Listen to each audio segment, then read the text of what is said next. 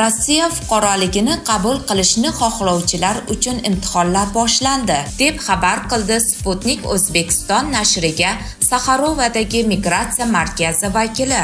Chet el fuqarolari saxarovadagi migratsiya markazida 2017 yilning yanvar oyidan boshlab shaxsning rus tili rossiya tarixi va qonunchiligidan yetarli bilimlarga egaligini tasdiqlovchi sertifikatlarni olishlari mumkin.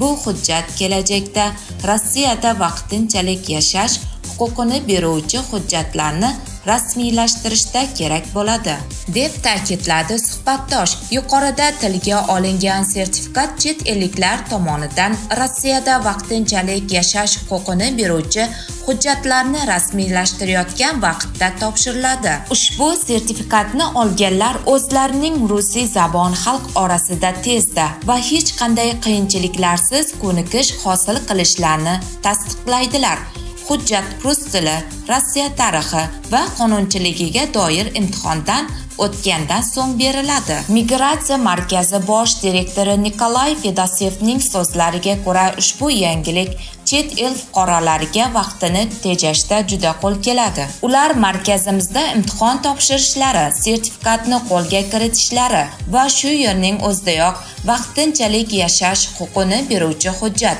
vitna жительствоni rasmiylashtirishlari mumkin deya ta'kidladi fedosev eslatib o'tamiz rossiya ichki ishlar vazirligining bosh boshqarmasining moskva shahri bo'yicha migratsiya masalalari boshqarmasi xodimlari 2016 yilning noyabr oyidan boshlab saxarovadagi migratsiya markazida vaqtinchalik yashash huquqini beruvchi hujjatlarni rasmiylashtirish hamda rossiya fuqaroligini qabul qilish istagida bo'lgan chet elliklardan arizalarni qabul qilish bilan shug'ullanmoqda.